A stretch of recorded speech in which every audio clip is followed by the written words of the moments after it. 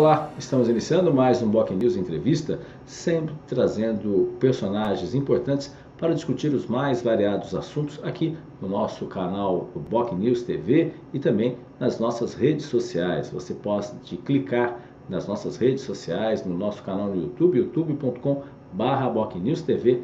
Se inscreva e você acaba recebendo todos os vídeos que são disponibilizados pela Boc News TV, além, é claro, das nossas redes sociais, Facebook, Instagram, Twitter. Agradecemos a sua audiência e a sua participação. E acompanhe também sempre vídeos exclusivos aqui na Boc News TV. Hoje um tema importante, como vários outros temas abordados, a questão da dependência química e saúde mental para público adulto e infanto-juvenil. A especialidade do psicólogo Jader Mioto, que gentilmente dá entrevista nesse momento para a gente. Muito obrigado, Jader. Obrigado pela sua participação. É, é um problema muito sério esse da dependência química. Como que a pandemia, de certa forma, uh, tem, uh, tem afetado, principalmente, se você tem percebido, principalmente algum tipo de, de, de impacto no dia a dia das pessoas, dos seus estudos que você realiza? A pandemia, é, eu estava lendo um estudo recentemente. É, durante a pandemia, houve um aumento no consumo de álcool de mais ou menos 90%. Tá? O uso de substâncias, nós não temos estudos epidemiológicos para saber, ok? Com mais certeza, mas houve um aumento na demanda de procuras por internação né, devido ao uso de substâncias lícitas e ilícitas, né, seja o álcool, seja múltiplas drogas ou até mesmo questões de automedicação, né, mais conhecido como farmacodependência. Né, é, esse aumento ele vem trazendo vários prejuízos né, a nível é, é, é social, né, é, pessoas com maior vulnerabilidade, pessoas com menos vulnerabilidade social, vem aumentando o consumo né, independente da substância da sua preferência, de forma exorbitante, a tal ponto que está perdendo muito o, o controle sobre isso, né, não só pacientes de uso de substâncias. É, é, é, é, que só tem o uso das substâncias em si, mas muitos que fazem o uso, eles acabam agora, apareceu uma coisa que fazia é, é, que aparecia muito de vez em quando lá na instituição onde eu trabalho, né, pacientes que usam substâncias seguido de uma tentativa de suicídio também. Então vem aparecendo essa demanda, né, é, é, é o aumento também da esquizofrenia e da psicose devido ao uso é, da cannabis, né, da maconha, vem, vem aumentado muito. Né, pessoas que antes acreditavam, ah, é uma planta, é natural, né, enfim, isso vem trazendo uma série de prejuízos e a pessoa, muitos não voltam mais, né? Ficam psicóticos por uma vida, outros demoram um bom tempo para voltar agora para a realidade, né? Mas mesmo os que voltam, ainda voltam bastante comprometidos, tá? Então a dependência química, ela vem trazendo prejuízos assim inimagináveis e a, a, a, procura por internação e por tratamento também aumentou consideravelmente. Tá? São realmente dados importantes, esclarecedores e preocupantes. Com né, certeza. Né, Porque é, tem os efeitos decorrentes dessa pandemia, que não tem diretamente relação com a Covid-19 em termos nesse sentido, mas uh, o que você está relatando é, é, preocupante, até porque você atua numa, num hospital, no caso um hospital Sim. em Itapecerica da Serra, Hospital Santa Mônica, e aí é uma preocupação muito grande, né? Se isso está acontecendo, talvez relatos com outros colegas seus, que isso está acontecendo em outras uh, situações, né? Então, realmente uh, mudou, e essa, a questão da pandemia, dá para traçar, houve alguma mudança no perfil das pessoas? Por exemplo, você está percebendo que está ah, faixas etárias mais baixas ou mais elevadas, idosos, enfim, tá? houve alguma mudança nesse perfil ou, ou, ou, ou não? Na verdade, é, o, houve uma procura muito maior, né, obviamente, como eu havia comentado, com pessoas com demanda de dependência química, ok? Mas isso também não isenta o aumento considerável de procuras uh, uh, com pessoas com outros transtornos, sejam elas menor de idade, sejam elas já na fase adulta, ok? É, é, é esse aumento está sendo em, na, em, todas as clínicas que nós temos contatos, né, profissionais que nós acabamos conhecendo, que estão em outras instituições, estão todas muito cheias né, devido a esse aumento consultórios, né, pessoas que fazem tratamento ambulatorial, também deu uma, uma aumentada considerável, apesar da, da situação financeira que a maioria da população se encontra, a, a procura tem sido muito grande. É, o, o, muitos que já eram doentes, né, ou que já faziam algum tipo de tratamento, é, é apertaram ali com o tratamento, foram procurar com mais intensividade, outros que eram ditos normais, é, ou, que não acha, ou, não, ou que não acreditavam que não tinha nenhum tipo de adoecimento emocional, agora passaram a apresentar sintomas como depressão, é, ansiedade, ideações ou pensamentos suicidas, né, desorganização, principalmente pânico, né, o medo de sair de casa, o, o, o medo né, de contrair aí o, o vírus, né, então acabaram acarretando outras problemáticas né, é, é, em relação às situações de cunho de saúde mental, ok? E isso vem aumentado muito. A nossa ala, por exemplo, na instituição onde eu trabalho, Infanto Juvenil, está com a sua capacidade máxima, né? É, é, é, é menores que devido todo esse tempo preso, né, é, é, é, em quarentena dentro de casa, acabaram se desorganizando, as famílias se desesperando, né, é, também na, na ala de adultos também a procura aumentou muito, então as pessoas estão adoecendo devido né, é, é, é, esse momento que nós estamos passando e presos dentro de casa. O que antigamente é, a pessoa saía para trabalhar, ia para uma academia, é, ia num shopping, ia viajar, ia fazer alguma coisa, ela conseguia distrair a cabeça e, e mais ou menos ali se manter funcional, ela foi perdendo essa funcionabilidade, ok? A tal ponto em que muitos deixaram de ser totalmente funcionais. Eu trato pacientes né, é, é do meu consultório, por exemplo, que têm um medo exagerado de sair de casa, de botar o pé na rua, porque é, é, é, é, com medo de contrair, então só ele pensar em ir para a rua, ele já começa a apresentar tremores, é, taquicardia, aceleramento dos batimentos, né, aceleramento dos batimentos cardíacos, né, como eu já disse, é, respiração ofegante, ele já entra num estado de confusão mental, aonde ele só de pensar ele já não consegue ele já entra nesse estado. Se ele sai de casa, ele entra em pânico. E aí isso vai gerando vários outros adoecimentos, e aí a pessoa vai ficando mais estressada, mais irritada, é, é, vai perdendo a esperança, vai, vai o, o planejamento para o futuro vai, vai vai vendo que vai perdendo ali o foco da coisa e a pessoa se desorganiza de uma maneira geral. E o, e o problema é que o doente emocional, né, o doente mental dentro de uma casa, ele vai desorganizando todos ao seu redor.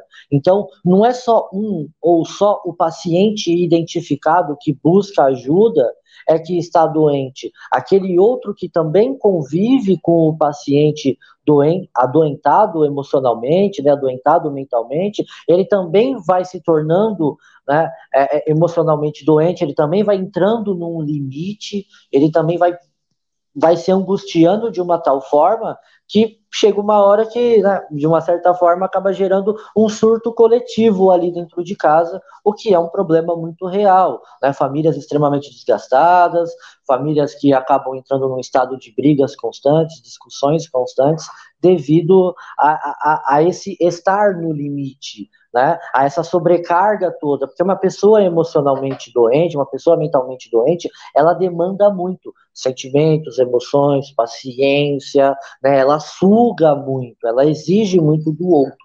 Tá? Então, é, é, uma, é, é, é, um, é algo muito mais macro do que nós conseguimos, muitas das vezes, contemplar. Já de, isso daí teria uma explicação também, é, que a gente é, há uma constatação do aumento de violência, especialmente contra as mulheres. Posso dizer também, aí você tem a questão do álcool também, que é um problema sério. Posso dizer que esse cenário que a gente está tendo é, desemboca muitas vezes no aumento da violência Desculpa, doméstica. Deu uma, deu uma falhada aqui, tem... deu uma falhada. É, eu entendi do álcool, é... né, a questão aí. Eu... Tá, eu vou fazer a pergunta então. Tá me ouvindo melhor, Jader? Tá me ouvindo melhor? Tô, agora melhorou um pouco. Vamos lá. Ok. A, a, eu estava comentando, Jader, que você comentou um ponto importante, uh, que você falou da, da, da, dessa, dessa explosão de problemas dentro de casa, porque as pessoas acabam se envolvendo, uh, se tem uma pessoa doente, acabam se envolvendo com outras pessoas da própria casa. E isso pode culminar, há uma explicação também em relação a isso, a respeito da própria violência, que acaba culminando muitas vezes na violência, violência doméstica, onde as mulheres geralmente são as maiores vítimas. Também há uma, há uma que às vezes não é muito trabalhado isso, mas há uma conexão sobre problemas psicológicos em relação, por exemplo, a esse aumento de violência que tem sido registrado também, especialmente contra as mulheres, em razão principalmente do álcool presente em muitos lares por causa do, do, do homem da casa que acaba bebendo e acaba efetivamente uh, trazendo esse problema e, e, levando, obviamente, a violência nesse interior da, da sua residência? Sim. É, bom, como, como a gente já sabe, né, como nós já sabemos, o, a, a violência doméstica é algo que sempre existiu, mas no dia a dia normal, fora de tempos de pandemia, as pessoas iam trabalhar, iam fazer suas coisas, enfim. Agora estão todos dentro de casa, trancados, angustiados, com medo do futuro, como eu já havia falado, né? O aumento, o aumento da, do, do consumo de bebidas alcoólicas, né? exagerou, quase dobrou, né, 90% aí do aumento. Então, as pessoas acabam ficando mais angustiadas, acabam ficando mais irritadas, o que torna essas pessoas muito mais propensas né, a, a, qualquer tipo de agressão. Seja aquela pessoa que já tem o perfil do agressor, né, que já agride as suas, as suas esposas, suas companheiras, seus companheiros, enfim, né? como muitas das vezes também pessoas sem histórico nenhum de, de violência doméstica ou qualquer coisa do gênero, acaba é, é, é, é, devido a todo esse momento, devido a toda essa angústia, todo esse sofrimento, né, essa desesperança, esse medo do futuro, a pessoa acaba é, é, se tornando mais agressiva, não só nas palavras, mas como muitas das vezes agressões físicas também, né? É, um momento muito delicado que estamos vivendo. E esse momento delicado, todos sofrem.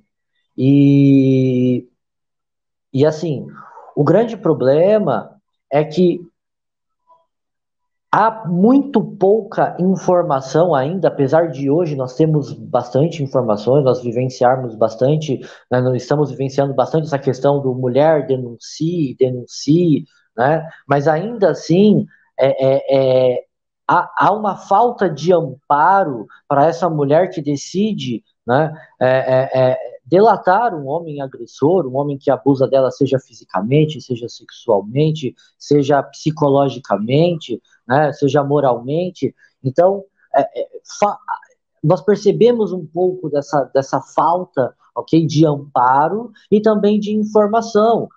Teve um, uma, certa, uma certa vez que eu estava dando um grupo com meus pacientes lá no hospital, e teve uma paciente Y em questão, que ela falou que ela apanha, ela tinha um relacionamento de não lembro quantos anos agora, e ela apanhou desse marido praticamente desde o primeiro dia de casado. E qual não foi a surpresa dela quando ela percebeu que isso não era normal?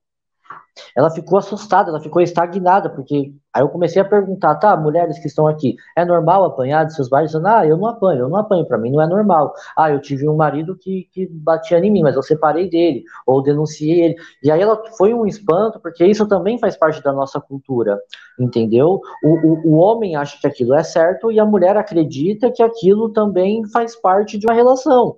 Né? Então, é, é, é, é, durante a pandemia, sim, houve um aumento, né? nós vemos relatos, vemos aí algum, algumas reportagens em relação a isso, ok?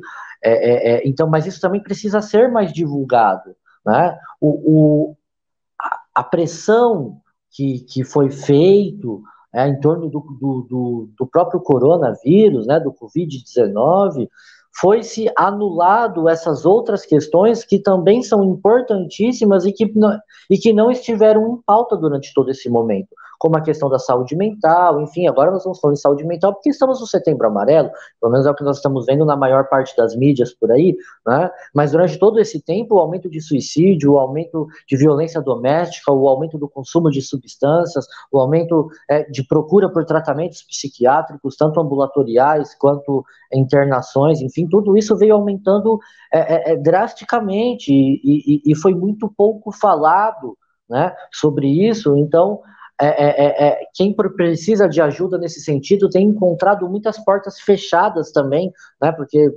várias, vários órgãos, tanto públicos quanto particulares, que poderiam dar esse amparo, muitas das vezes estão fechados, né, devido à, à quarentena, enfim, então as pessoas estão dentro de casa, trancado, muitas sofrendo esse tipo de abuso e não tem para onde recorrer, né, e, e, e ou se tem, muito pouco se pode fazer, porque órgãos que normalmente é, cuidariam disso ainda estão fechados, né?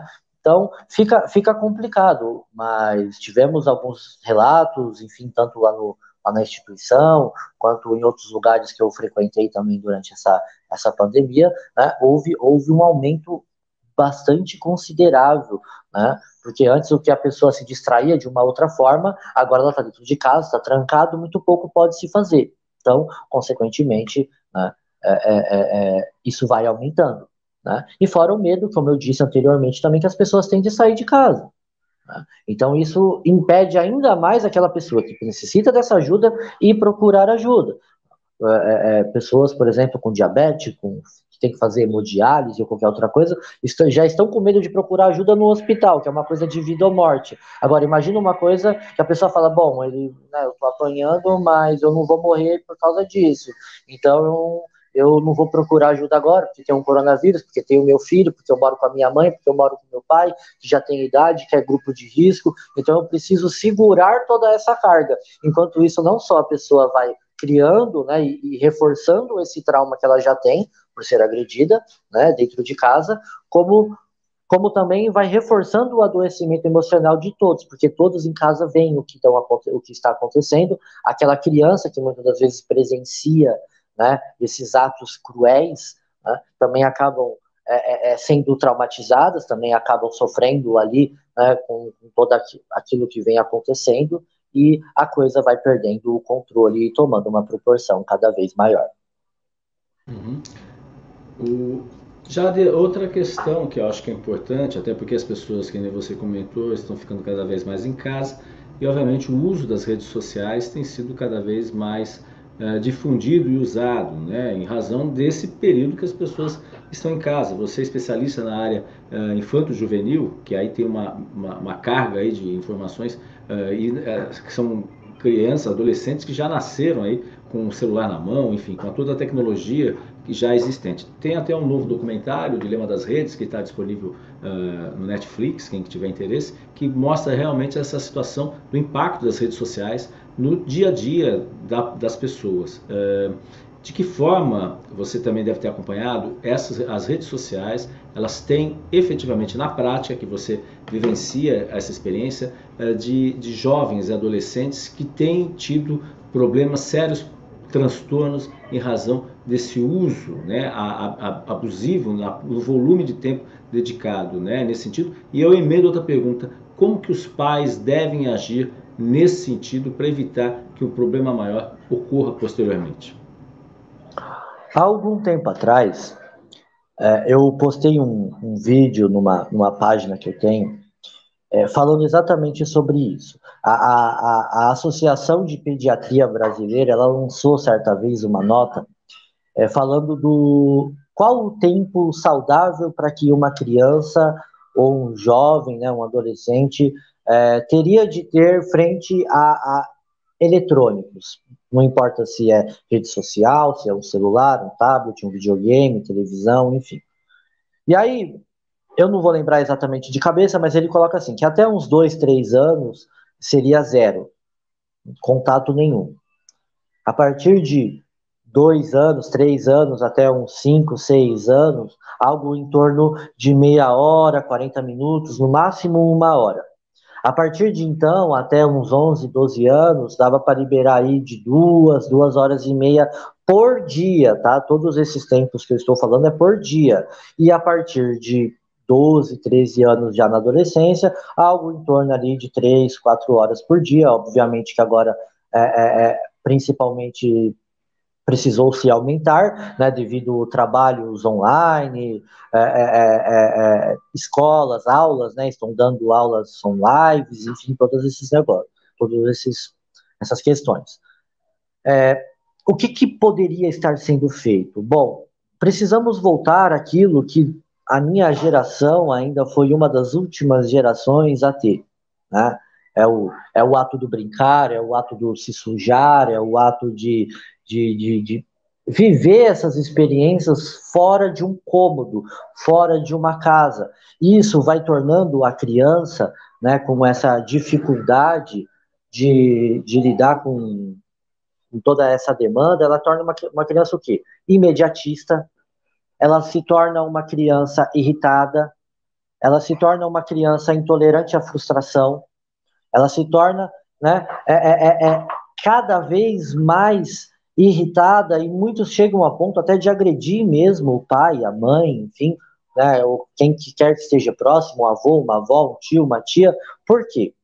Porque antes, para nós podermos brincar e tal, tinha que esperar o amiguinho vir, tinha que enfrentar problemas, então aquela brincadeira não agradava a um, então a gente precisava arrumar uma solução para poder lidar com aquilo, para poder fazer que, com que aquilo é, é, é, é tornasse o mais saudável possível. Então, era a resolução de problemas, era o saber esperar, né? Antes não tinha essa questão do manda mensagem, não visualizou, já fica nervoso, já fica estressado, demorou um pouquinho para entrar no jogo, demorou um pouquinho para entrar na rede social, já fica estressado. Então, hoje, tudo se tornou muito fácil, está muito na mão, e, e, e, essa criança se torna incapaz de resolver os problemas. Por quê? Ah, toma o tablet, toma o celular, toma o videogame, fica aí quietinho, porque assim ele me dá um pouco de paz, né? assim ele me dá um pouco de sossego. As crianças estão presas e não tem o que ser feito o medo de, de, de, se envolverem, por exemplo, com drogas, se envolverem com más companhias,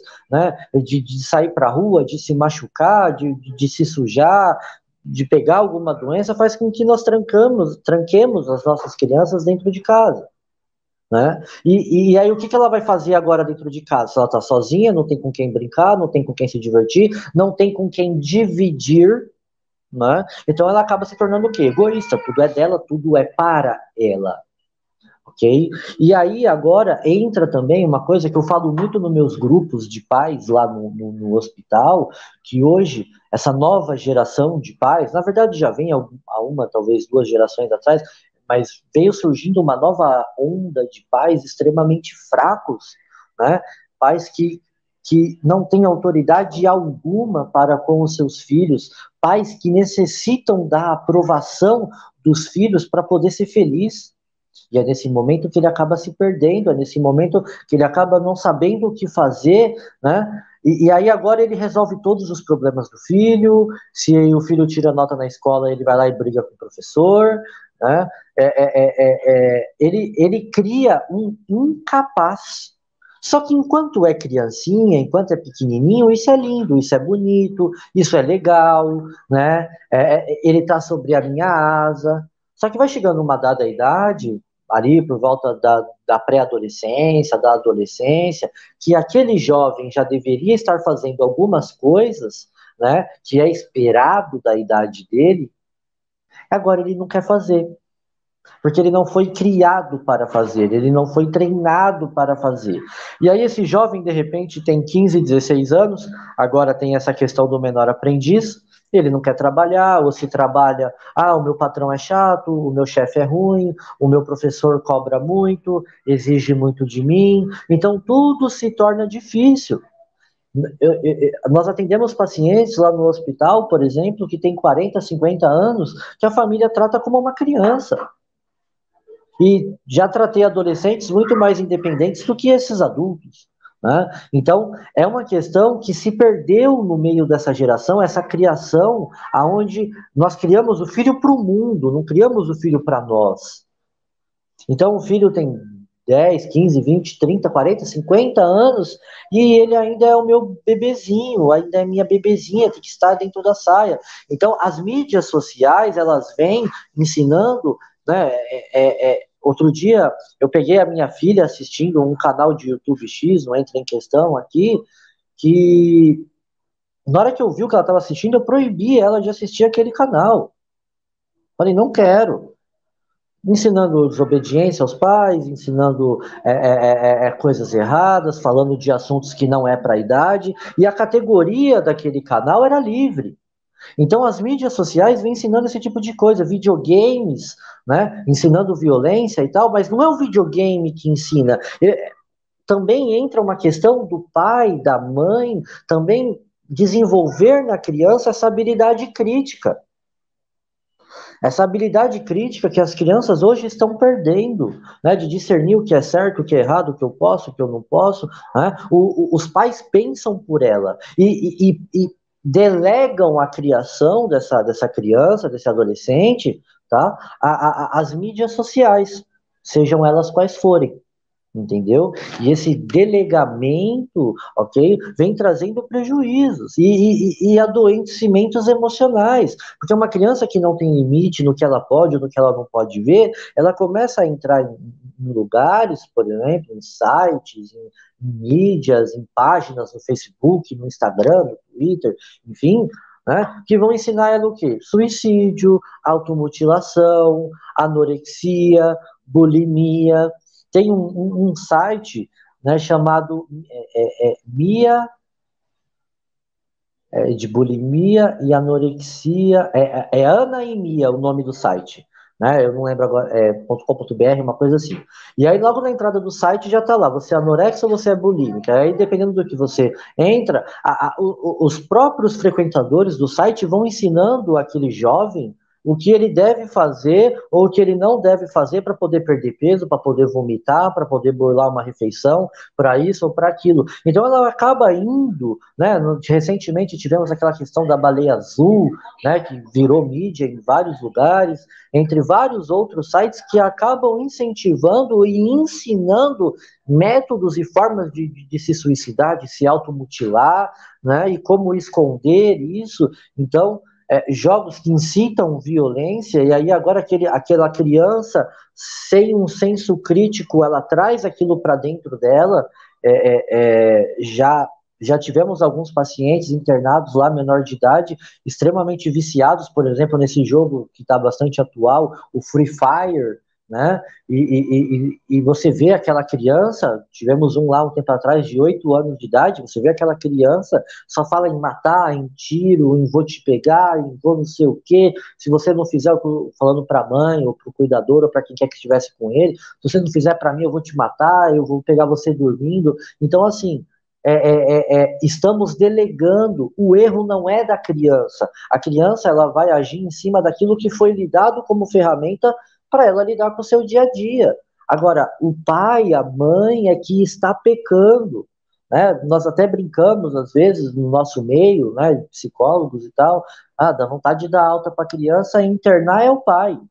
Né? Por quê? Porque o pai tem essa, essa questão de delegar, ele não tem mais tempo, ele está estressado, ele tem que preocupar com as contas, agora com a pandemia, né? Tem que, é a pandemia, é as contas, é o trabalho, é a escola, né? Tudo mudou. E aí, agora ele não tem tempo. Então, olha, toma o tablet, toma o celular, toma o videogame, toma não sei o quê, e, e me deixa quieto aqui que eu preciso pensar. Né? Então, vai delegando isso. Tá? E vai, consequentemente, vamos perdendo nossas crianças para é, é, essas, essas redes, esses jogos, né, é, é essas mídias sociais, enfim, independente do que seja. Psicólogo Jader Mioto, que é especialista em dependência química e saúde mental para o público adulto e infanto-juvenil. Muito obrigado, Jader, pelos seus muito esclarecimentos. Foram, são muito importantes, né? um alerta para pais, né? também adolescentes, pré-adolescentes, enfim, todos os nossos internautas que acompanham aqui à Boc News TV. Muito obrigado pela sua participação. Muito obrigado pela oportunidade. Sempre que precisar, me coloco à disposição.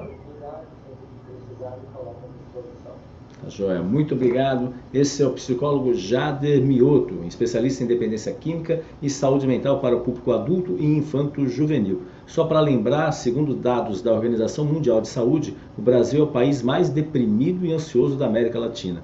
O último relatório da organização, de 2018, mostra que nos últimos 10 anos o número de pessoas com depressão aumentou 18,4% em todo o mundo, que corresponde a 322 milhões de indivíduos, ou 4,4% da população global.